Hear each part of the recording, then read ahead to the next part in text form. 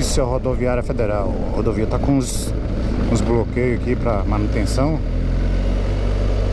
E tem hora que o trânsito fica bem pesadão. É, tá piscando, tá gravando.